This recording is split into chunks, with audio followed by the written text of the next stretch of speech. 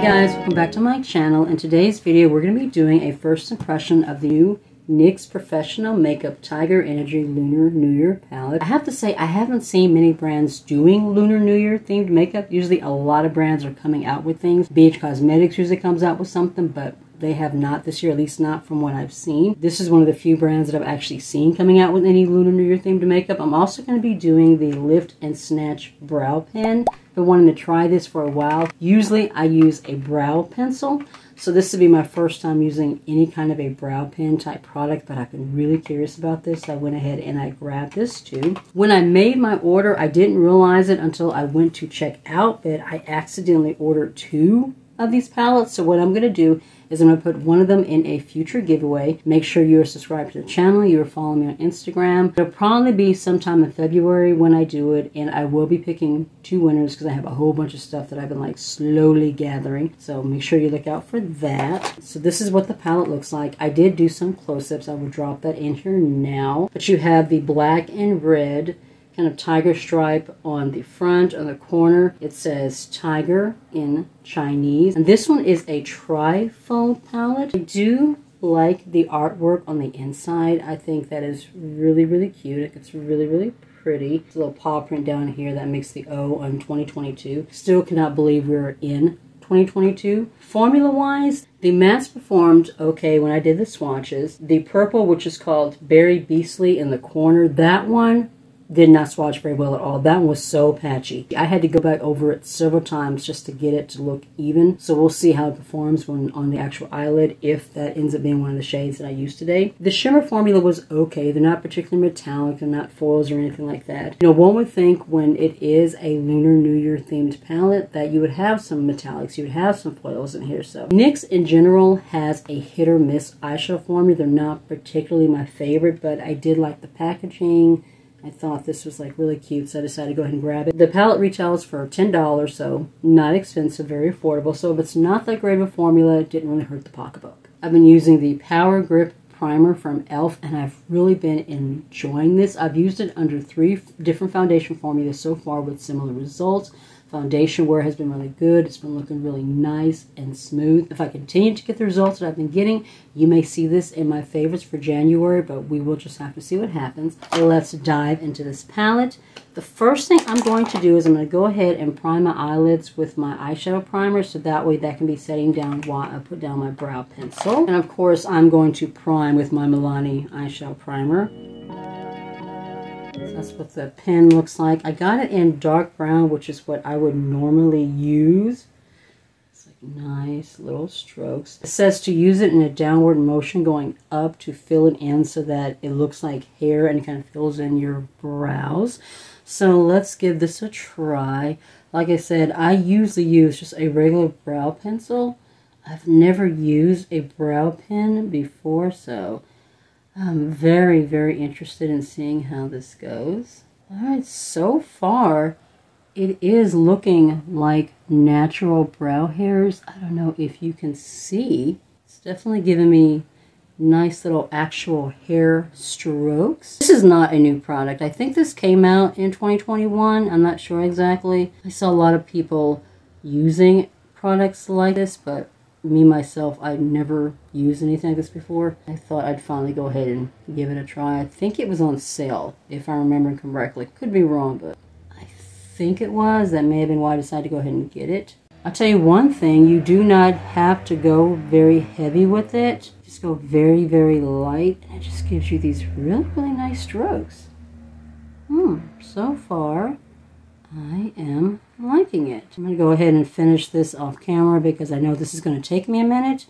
And then we will come back and we will throw on these shadows. Alright, I have finished filling in my brows and so far I am liking it. It did take a little longer than my regular, you know, eyebrow pencil does. It's definitely one of those products I'm to have to play with a little bit more, but let's go on ahead and jump into the eyeshadow look. We throw on some blush and highlighter real quick from ColourPop. We're to be using the Super Shock blush in Georgette. It's a really pretty kind of a red toned blush. And then we're to highlight using the Dewy Cream highlighter from Shop Miss A, AOA Studio in Silk. It's a really beautiful formula and it's only a dollar.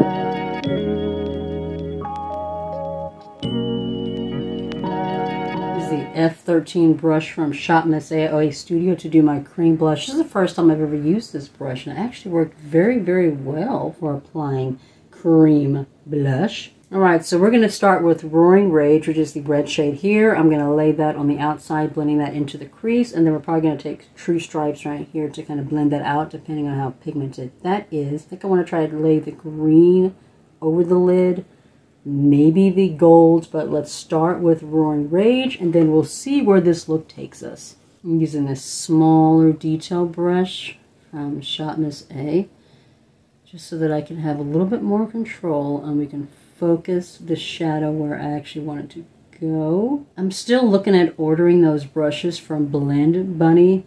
They look so nice and I've seen so many good reviews on them. Alright, so far this red is not blending out the best. It's going a, on a little bit patchy. The pigment is nice and it is an actual true red which I do like because a lot of times reds will come off more pink and they're not you know a super real true red but this one is definitely a true red so we are liking that. That is good. Like I said it's blending okay.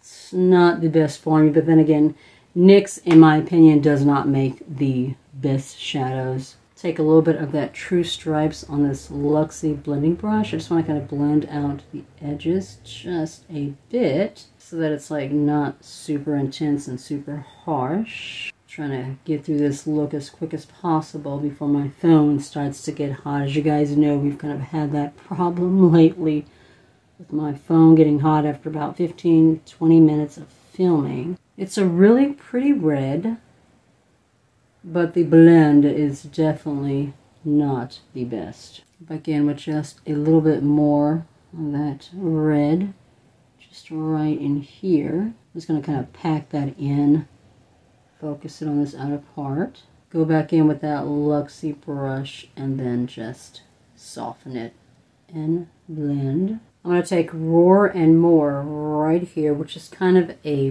burnt orange, and I'm going to lay that along my lower lash line just real quickly before we start laying down our shimmers. Very close to the lash line. It's a pretty shade. It's nice and pigmented. It's blending pretty well in this area. I'm going to take Jungle King on my lid. Pretty kind of a sagey green there. I'm going to take it on my brush and then I'm going to spray it with a little bit of setting spray just to see if I can get a little bit more shine going on. When I did the swatches, it, it was not very intense. So I want to give it as much intensity as I can. Let's see how this performs. Okay, Wetting the brush gave it a little bit more intensity than in the swatch. Still not super shiny, still not like super wowed by it or anything. I wish the shimmers in this palette were more metallic, more foily, especially considering that it is a New Year's themed palette. It would just, you know, make sense to me that you would want those shimmers to really, really stand out and really, really shine. I'm going to take Rebel Kind, which is the gold, and lay that more towards the inner part of the eye. I'm using an angled BH Cosmetics brush so that I can kind of focus it in here. Yeah, on its own, there is absolutely no payoff. I am not getting any kind of shine or anything happening with this. So we are going to spray this shade as well see what happens. All right, we have a little bit more intensity, but yeah, this I am not, not at all impressed with this formula. I have other golds and other palettes that are just so much shinier, so much more metallic looking than this. I mean, as you can see, there's not very much payoff at all with this. I am not very impressed. My daughter just sent me a text asking if there were any more cupcakes. My my nine-year-old, well, he was eight, turned nine yesterday, had a little birthday party, and he had cupcakes. So she's she's wanting to know if there are any more left. I'm taking this first brush that has that Roaring Rage red shade, and I'm just kind of blending everything out. Make sure the edges are blended together. To finish off this look, I'm going to take this old brush from Beauty Bay and we're going to go into the black, which is That Wildlife. And I'm going to use that as my liner. see how that works out. I'm just going to take the shadow and lay it really, really close to the lash line. So I'm going to use my magnifying mirror here because I'm going to really, really, really need to see that detail. I'm interested in seeing how intense this black is. Really difficult to make a super intense black shade. Alright, so far that's performing pretty well. I'm getting a little bit of a fallout. But it is pigmented. It's a pretty nice looking black. I'm basically just taking the brush and just pressing the shade against my lash line. Not really blending. Alright, so far I think that is a nice looking black. Alright, I'm going to clean up some of this fallout on my face, pick something from my waterline, throw in some lashes, throw on a lip, just finish off this look, and then we will come back and do our final thoughts. For my lower waterline, I use Toucan Do It, which is this really pretty gold metallic from ColourPop. My lashes are the Ardell Wispies.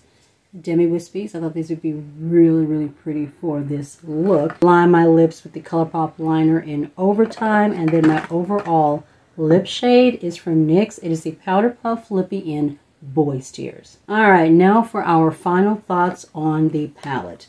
Packaging is really, really cute. I love the trifold design. It's really, really nice. Formula-wise, it's not that impressive. The mattes performed okay. That red was a little bit patchy. It did, it did blend out all right. I used that shade true stripes right here just to kind of blend out the top so that it wouldn't be too harsh. The shimmers, not very impressed with at all. There was not much shine to them at all, even using my setting spray to kind of, you know, amp up the shine still is not much.